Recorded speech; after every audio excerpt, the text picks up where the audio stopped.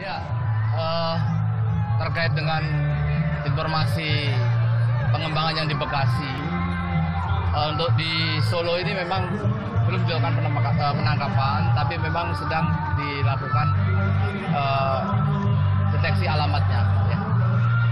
Untuk penangkapannya belum, Oh, belum ada ya. Belum. Jadi yang satu katanya ditangkap di Solo belum, belum ada ya. Tapi kalau untuk dua orang yang ditangkap di Bekasi sudah dipastikan Sudah ada. warga Solo. Ya alamatnya ada kaitannya di sini sudah di ada, tapi sekarang ini di Solo belum ada penangkapan.